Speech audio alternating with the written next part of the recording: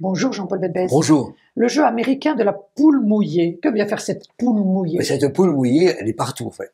Mais on la retrouve dans les écoles, entre les défis, les duels, entre les deux gamins. T'es pas cap. T'es pas cap. L'un qui dit je vais y aller et, et celui qui cède, euh, eh ben c'est la poule mouillée par rapport à lui, celui qui cédera plus tard ou celui qui ne cède pas et qui est plus courageux. Pourquoi des Américains? Parce que c'est une référence en fait Ah.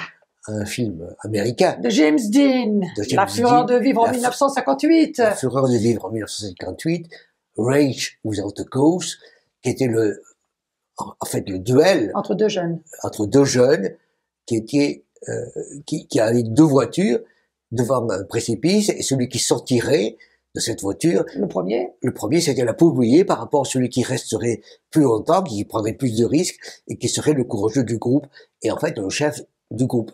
Et on voit bien à quel point nous avons aujourd'hui des jeux de poules mouillées, non pas pour gérer, euh, pour diriger des groupes euh, américains, mais au fond pour gérer la dette américaine qui est décisive pour la dette mondiale. Vous voulez parler du plafond de la dette américaine? Absolument. Donc le jeu du TEPACAP, le jeu de la poule bouillée, aujourd'hui on le retrouve aux États-Unis entre démocrates et républicains, et surtout entre républicains dans, dans la Chambre des représentants, pour faire en sorte que le plafond de la dette américaine, qui est au bord de 35 milliards, 35 trillions de dollars, puisse être augmenté. Autrement, eh ben, les États-Unis seraient en défaut de paiement, seraient en faillite C'est aussi grave que le précipice. c'est c'est le précipice américain et ce sera le précipice mondial. Et il est annoncé d'ailleurs que c'est pour juillet-août que cette limite serait atteinte et donc qu'il faut avant que les hommes politiques et les femmes politiques américains se mettent d'accord pour permettre euh, de remonter euh, ce, ce plafond. C'est tous les ans ou tous les deux ans que l'on a ce problème de drame.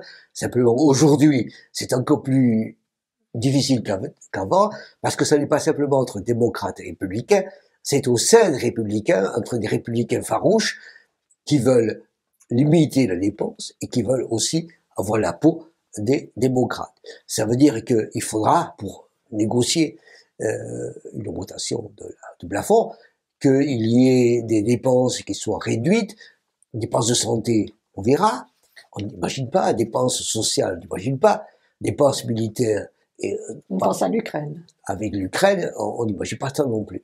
Donc on voit bien à quel point nous allons aujourd'hui vers une espèce de gouffre et que celui qui cédera, évidemment, sera peut-être considéré comme la, poule bouillée, mais les enjeux sont absolument énormes parce que derrière les 35 trillions de dollars, il y a toute la dette qui se met en place et que s'il y a aujourd'hui des interrogations sur les États-Unis, les taux d'intérêt monteront aux États-Unis, ailleurs, et, et monteront les difficultés partout. C'est un jeu euh, mondial fou. C'est un jeu idiot. C'est un jeu idiot. La poule est mouillée peut-être, mais on, on risque d'être tous mouillés et très mouillés. Merci Jean-Paul Bébès. Je vous invite à vous abonner, je vous invite à liker, je vous invite à en parler, je vous invite à faire des commentaires. Donc, je vous invite. Merci.